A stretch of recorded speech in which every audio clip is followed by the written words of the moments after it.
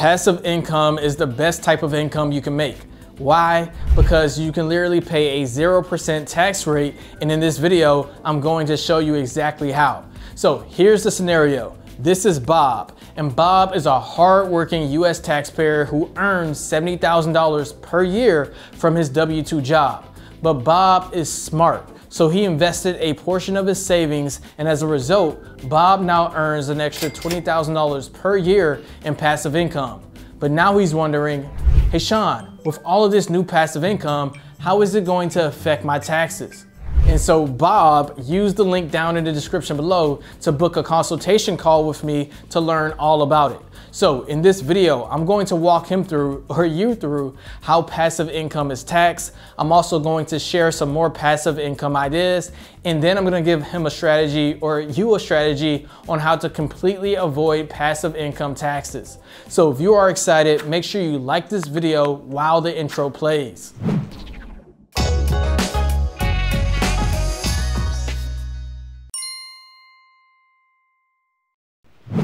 Hey there and welcome to the channel. I'm Sean with LYFE Accounting, the accounting company that helps you save on taxes and build more wealth. All right, let's go ahead and start off by making sure we're all on the same page with number one, what is passive income? I'm going to be quick and straightforward because I've covered this before. So if I was on a consultation call with Bob, then I would tell him that according to IRS publication 925, passive income is classified into two categories. Number one, a business or trade activity that you do not materially participate in. And in general, material participation can be summarized as a business or trade activity where you are working more than 500 hours in or you are substantially involved in the operations. The second type of passive activity defined by the IRS is number two, any rental activities, even if you materially participate, except for activities that fulfill your duty as a real estate professional. So passive activities can be things like leasing equipment or other assets, rental real estate property, limited partnerships, businesses, or farms where you as an individual do not materially participate. And you can be involved in all of these passive activities without working simply by investing money. Now, really quick before I move on to number two, here's a very important note, which is, okay, there's a lot of people, especially on YouTube, who make videos about passive income, but they're just using that phrase for the views and for the clicks. A lot of them are actually making active income. So now that you understand the true definition, you can better spot out all these imposters. Cool. Now that we're all on the same page, let's move on to number two and talk about how passive income is taxed. So passive income is favored much better by the tax system when you compare it to other income sources, which is often referred to as active income, which of course is money that you make from actively working, right? That's gonna be your W-2 income, your 1099s, or your other self-employed income. So during my meeting with Bob, what I would do is pull up this chart and explain that the passive income that you earn every month or every quarter, or basically any passive income that you earn within a year, is taxed at a short term capital gains tax rate, which is basically the same tax rate that you would pay at the federal level on your active income. So there's not a lot of things that change when you start making passive income in the short term. However, if you hold on to your passive income longer than a year, then it will be classified as a long-term capital gain and then things start to get interesting because as you can see, depending on your income level, you could pay a 0% tax rate on your long-term capital gains.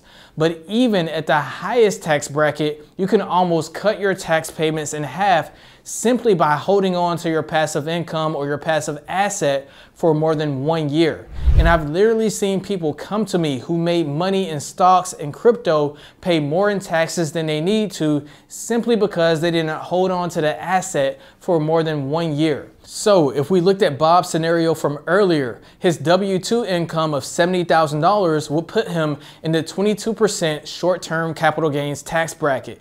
But with his passive income of $20,000, that would push him into the 24% tax bracket. So knowing this, during the consultation call with Bob, I'm going to ask him a very important question, which is, okay, do you need the extra $20,000 in passive income now, or could you delay it to save more money in taxes?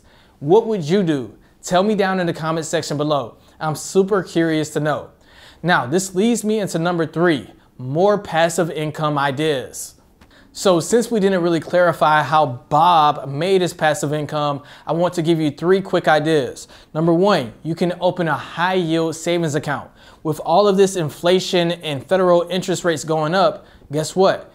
Interest rates on savings accounts have gone up as well. My Ally savings account has gone from a 0.5% interest rate to a 2% interest rate on all the money that I deposit, which is another way to make great passive income. Another passive income idea is number two, invest into a REIT. REIT stands for Real Estate Investment Trust. And I personally have over $100,000 invested into Fundrise, which is a real estate investment trust fund and I make passive income anytime the real estate in the portfolio appreciates and I make dividend income every time they collect rental income from the rental properties. And so what I'll do is I'll put a link down to Fundrise down in the description below and when you use my link, you'll get $100 in shares when you sign up. All right, passive income idea number three is retirement accounts. So what you could do is set up a pre-tax retirement account and then use that retirement account to invest into real estate or invest into the total stock market. Because historically, the stock market, the total stock market has always appreciated as well as the total real estate market. And at the same time, you may be able to get some dividend income every time rental income is collected or every time the stocks create some extra cash flow. So that's the third passive income idea. Now I have an entire video where I break down my personal passive income portfolio. So what I'll do is I'll link that video at the end if you want to check it out after you finish this one. Moving on to number four, I have how to avoid taxes on passive income and really any income. You see, it's a common belief among many people that avoiding taxes is either A, illegal or B, something that is reserved for the rich and the wealthy who can afford really expensive accountants.